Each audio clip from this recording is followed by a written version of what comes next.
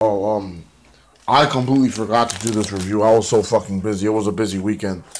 And the thing that sucks the most is that next week is going to be just as busy. Even though the review will probably be up earlier. Uh, so this show kicked off with Josh Matthews' music playing as Pope and JB were welcoming us to the show. And Josh comes out with Raphael, who I thought was like an anthem. Apparently, he's his lawyer now. And a bunch of security. And he's like, JB, you've been suspended for hitting me. And JB's like, what the hell? So they suspend JB and they put Josh on the commentary table. What the hell? Oh. You guys know how I feel about this. Listen, I don't care if you like Josh Matthews, all right? But if he's gone, what the fuck was the point of having that match? Especially since everybody in JB's team turned heel, but whatever. So yeah, JB and Pope are calling. No, Josh and Pope are calling. JB's out. Um, and then Trevor Lee comes out uh, to wrestle. He's with Gregory Shane Helms. And then, doo, doo, doo, I am the ancient warrior man. Matt Sydal makes his debut in the Impact Zone. Matt Sydal looking awesome as fuck. I was marking the hell out when he came out, bro. I've been excited to see. I heard he was coming in, and I've been excited to see him. He defeated uh, Trevor Lee with uh, Airborne. Uh, that was really fun to watch. I'm, I'm happy he's in the Impact Zone, and apparently he's got a match coming up with Eddie Edwards. I can't wait to see that. That that's going to be off the chain. You know what I'm saying? Um, after that, EC3 came out.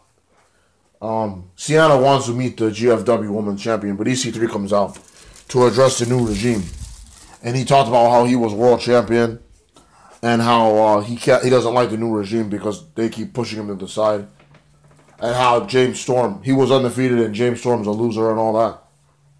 Uh, and he's talking shit about like the new the new people in power. Um, James Storm came out and tried to fight EC3, but EC3 doesn't want nothing to do with him.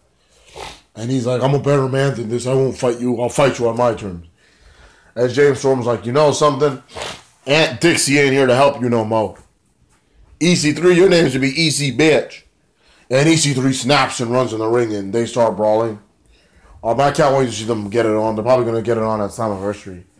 Which was going to be cool because you guys know the history of EC3 and TNA. And of course, James Storm, the last outlaw, the man that's been there since day one. Uh, this stupid skit of, of KM eating at a restaurant. Some waiter's like, you like the food? He's like, Get out of my face. Don't call me no fucking liar. I don't know. Don't call me no weirdo. What the hell? That was stupid. I didn't like that. Um, so Christina Von Eerie is the GFW Women's Champion. She had it for two years. I remember when she won it. And uh, she looks different. She was toxin. She looks different, but she still looks good. Uh, and she's like, I want to get it on with the women in this company, the competition. And I want to be GLW's champion for a long time, you know? So she comes out. They fucking. They didn't show Ava Storie's entrance. That's so fucking stupid that they did that. Ava Storie's fucking gorgeous. Um, young, 20 years old. Um, I guess I'll talk about this. I, I, I found an article about Ava Storie on Wrestling Forum, right? Beautiful woman like Ava Storie, beautiful eyes. And the only thing, there was like about five, six comments. It was just a bunch of smarts talking about how she sucks in the ring. Okay, if there's a hot girl, whether she can talk or fight is irrelevant, okay? Obviously, she wanted to be a wrestler, so let her fucking wrestle. That's for anybody, not whatever. And then they started trashing on on Christina and all that. Fuck them. Uh, I love Ava's story, but Christina Von Eerie defeated her. And apparently she's got a match with Sienna next week. You know? Nice. Swoggle was shaking hands with people in the Impact Zone and he was fucking with uh, Rockstar Spud. It was kind of funny. Uh, Low Ki came out and said, uh, I'm, I'm the, the X Division champion and all you people want to take this belt from me. Come at me, bro. I'm coming. Low Ki's cool. I love Low Ki. Loki's the man. Uh, Alberto El Patron was being interviewed by McKenzie, and he wants to be world champion, but Magnus came out like, you go on the back of the line. And then they started like arguing because Magnus is a GFW champion. And uh, like I said, Dixie, Karen Jarrett gets in the middle. Like, you guys get it on, not next week, but the week after. Stupid. Why are we waiting two weeks? But this should be good. And I like both of these guys, though. I'm, I'm going to pull for Alberto, though. Um, then we had Moose versus Davey Richards for the uh, the the Grand Impact title. The Impact Grand title. After a year, I'm still calling it that. I'm fucking stupid. So they got it on. Um, and I'm so excited to see Angelina Love and Moose the next month. Oh, excuse me, it's this month. Yeah, it's in two weeks, brother. Not even. It's a week from this Saturday. Um, and Davey looks so stupid fighting a big man like Moose. He's a little guy in his underwear and he's fighting a big powerhouse. Moose comes out with two of his basketball, I mean football friends, his football players. They probably came out with him at, at, at Bound for Glory. Uh, they're kicking each other's ass, but Moose is dominating him. Eddie Edwards runs out and just like attacks uh, Davey. And the match is like a no contest. Davey gets taken to the back. And then Eddie starts talking shit to uh, Moose's friends. So one of them like pie faces the shit out of Davey. And the other guy picks up Davey and power slams him because he's a fucking midget. And a football star can pick him up like that. So that was pretty cool. Uh, they, they embarrassed him. And Swoggle once again was trolling uh, uh, Spud. He ripped up his format and shit. So Spud got fucking mad. He said, "Get away from me! Keep away from me!" And he ripped he ripped his pants. He ripped Swoggle's pants right off. Uh, funny. Uh, there was this jobber, Matt Sigmund, I think his name was, and uh, Kongo Kong squashed the shit out of him. Um, of course, Kongo comes out with uh, Laurel Van Ness and KM and Sienna. This guy, I like Kongo Kong. I've seen some matches of his before he came to Impact. Oh, what are they gonna do with him though? Like world title chase? Like what are they gonna do with him? Because this new stable ain't doing it.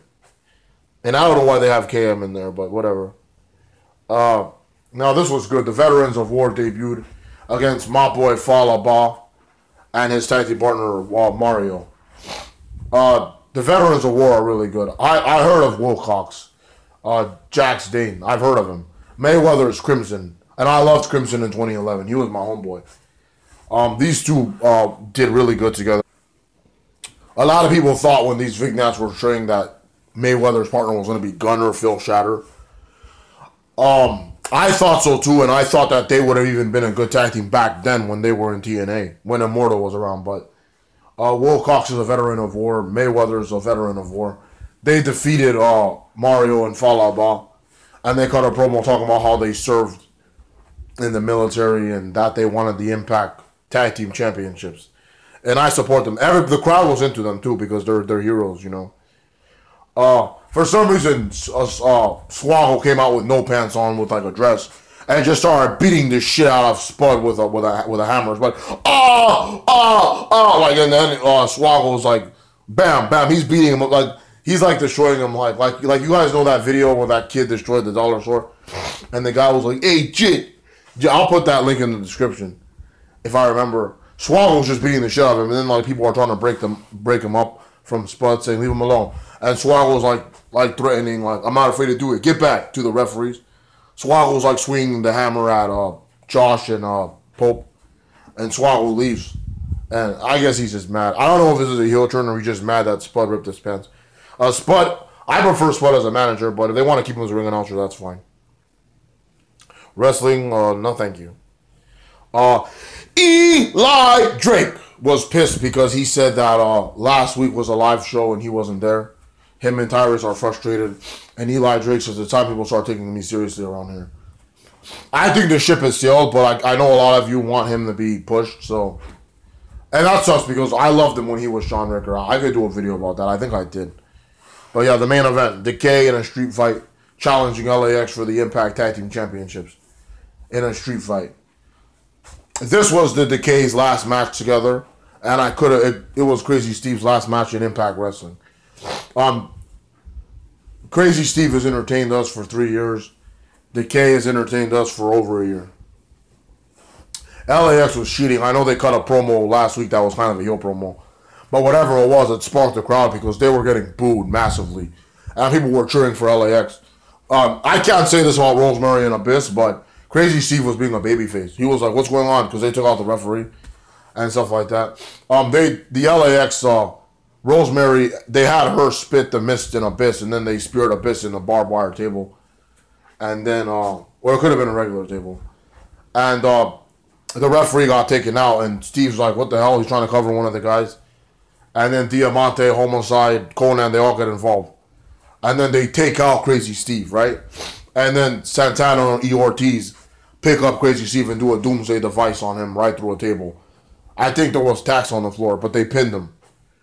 Um, great way for him to go out. Um, the crowd was booing LAX, and LAX is like Latin Nation for life, and that was it.